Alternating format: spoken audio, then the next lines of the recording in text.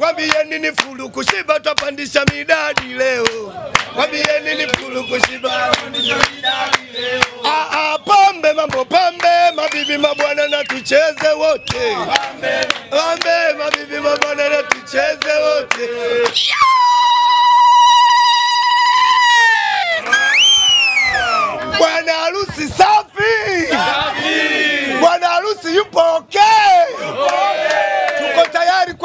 kwenda kuchukua mke wetu, maana mke wa semaji yetu ndio mke wetu.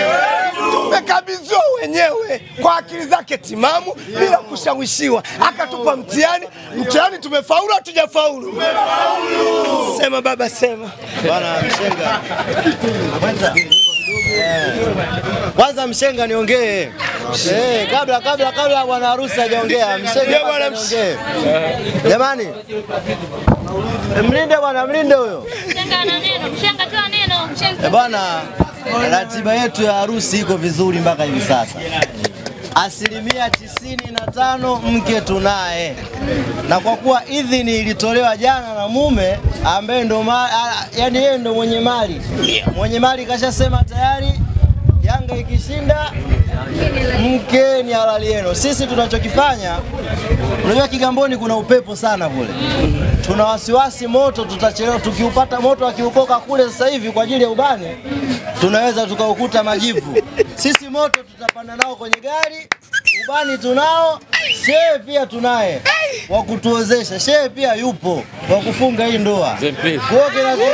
Na baba wa familia mzee Mpili amesema ametoa baraka zake zote. Sisi tulikuwa tunahangaika, hali, mbona haoi, Ali mbona aoi?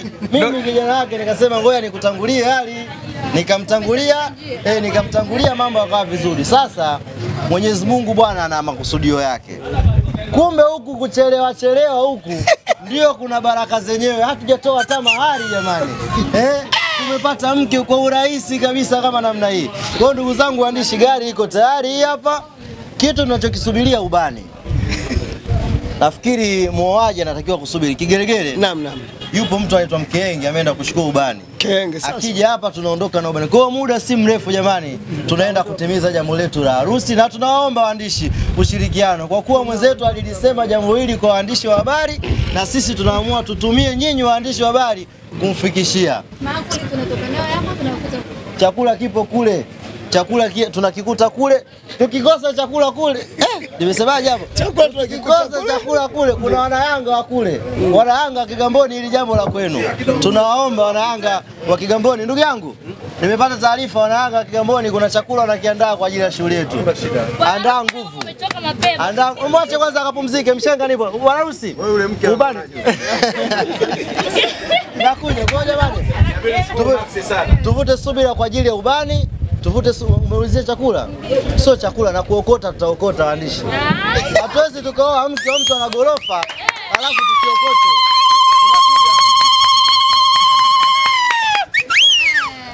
Yani huwa hatujaribu kwa sababu hii imeshakuja, ni neema.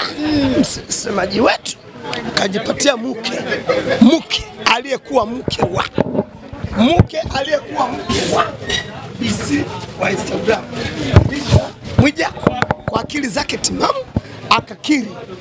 Yeye katoa mtihani na mtihani huo Yanga tumeufaulu tume, tume Kwa kwa lugha nyingine unaweza ukasema Yanga hawajaribiwi, Yanga hatujaribiwi, na kwa kuwa hatujaribiwi tumefanya kweli. Haya, sasa tusipoenda kuchukua huyu mke wetu, hauoni kwamba tunafanya makosa?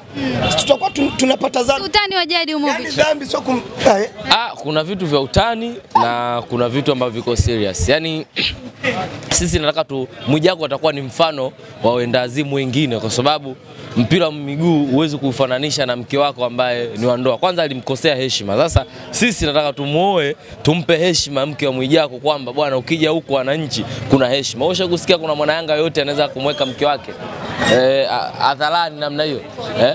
Kwa hiyo mimi mimi niamini kwamba umesikia ndugu yangu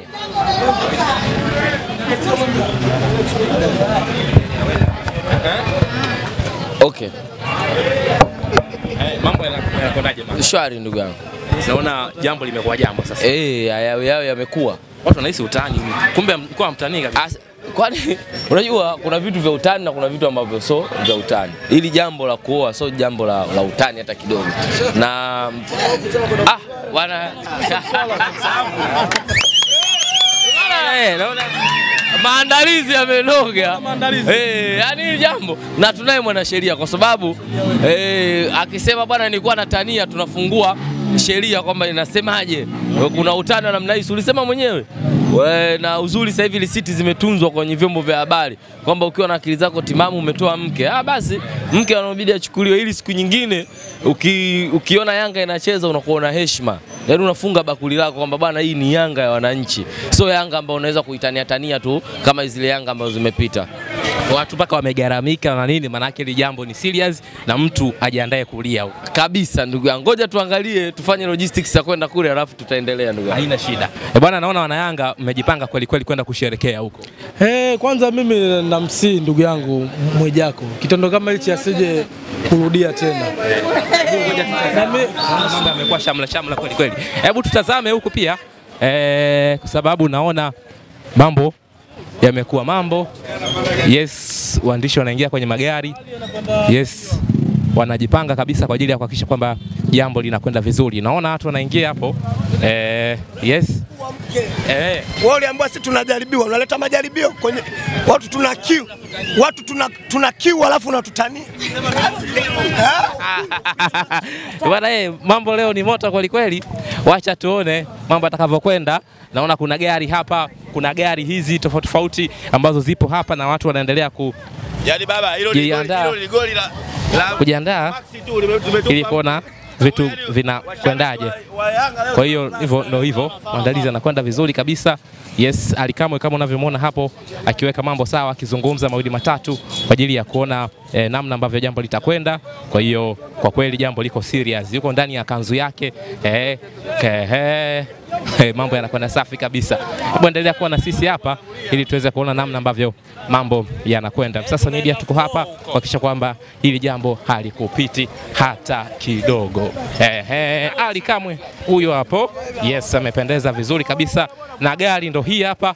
Ehe, haya sasa anaingia sasa, Ali Kamwe anaingia anaingia ndani ya gari eh, Safari inaanza.